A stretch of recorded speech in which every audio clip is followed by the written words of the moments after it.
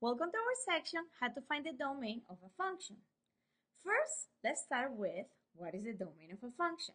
I'm pretty sure you have seen this before and you're wondering what it is. I'm going to give you a simple example so you can understand what is the domain. Let's say that you're going out of town and you have your little kitty cat and you tell me, Vanessa, I want you to take care of my cat. This is all my house. He can go all over the house except my closet. Here, you're giving me a domain. You're telling me that your cat can be everywhere where this white area is except your closet. Your domain is going to be all the white area except the closet. How do I do that with a function? Well, the domain is defined as all the values that x can be. Or, example, let's say that we have something like this. Here I have a fraction. My numerator is on the top and my denominator is on the bottom. I need to remember the denominator can never, never, never be zero.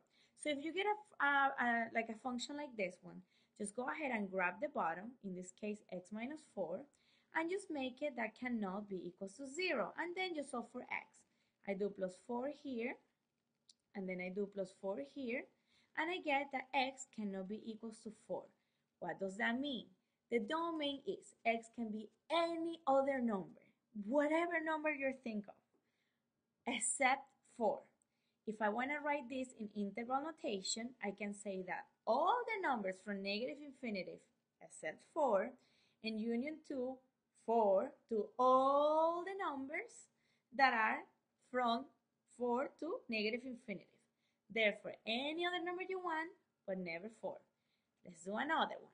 Now I have here f of x equals to x squared over x squared minus 9.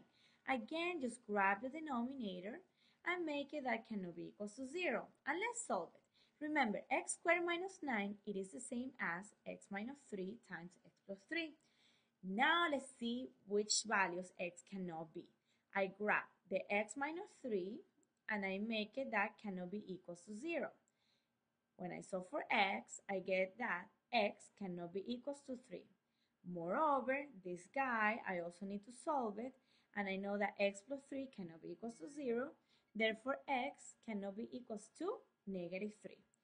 Finally, my interval notation, which is a little bit long and annoying, is negative infinitive to negative 3, union to negative 3 to 3 with union to 3 to infinitive. Conclusion, x can be whatever it wants except 3 or negative 3. It makes sense. If you put a negative 3 here and I go negative 3 times negative 3 is uh, that's equals to 9. 9 minus 9 is 0. Kaboom! I cannot have a 0 in the denominator. Now, what happens when I have a square root? Well, let's remember a square root can never be negative. Therefore, I need to go ahead and grab what is inside, in this case 2x plus 6, and make it that it can be greater or equals to 0. And yes, you can have square roots that are, uh, that are I'm sorry, equals to 0. Therefore, 2x plus 6 greater or equals to 0, and I have to solve for x. I pass this x, the 6 to the other side, and then I divide both sides by 2.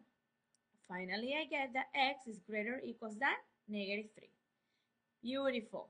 Now that I have this, I can say that the values of x go from negative 3 to infinitive.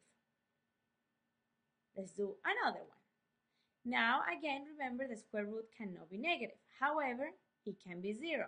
So I just grab what I have inside here and I make it greater or equals to 0.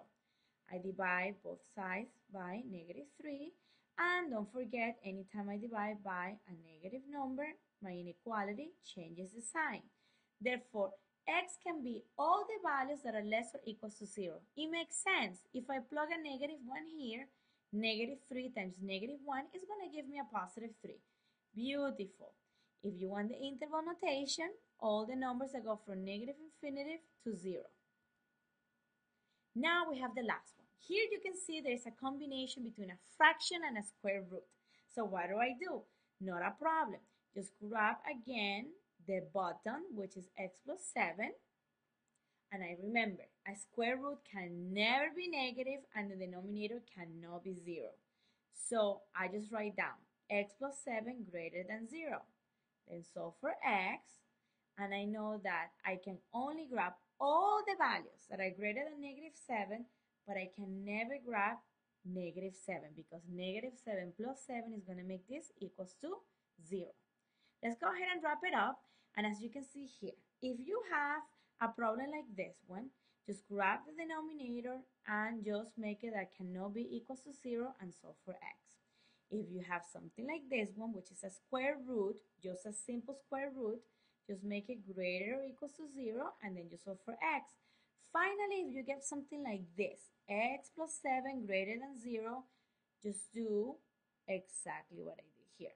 All right? If you have something like this, like a line or like a polynomial or anything that looks like this, the domain of these guys are all real numbers. As you can see here, I don't have a square root, I don't have a denominator, so I can be, or x can be whatever it wants. Beautiful. And the kitty cat is probably excited that you're coming home. Thank you so much,